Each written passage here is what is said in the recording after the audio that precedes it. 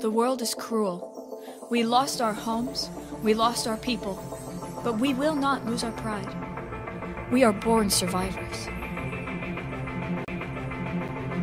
We're the last of mankind, the last ones that matter. This is all about our survival when the eternal night comes.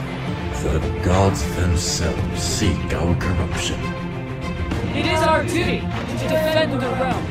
We'll fight gods if we have to. I was born to raise fear on the overworld. And I will. We are legends told by your elders. We are the essence of chaos. We are I am the entity. For I was your beginning.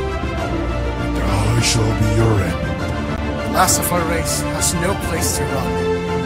We will not subjugate for humanity's legacy. Today, we retake our home. Capek ah ngojek mulu. Mana yang naik semua orang gila lagi. Eh. Hei kamu. Siapa tuh yang ngomong?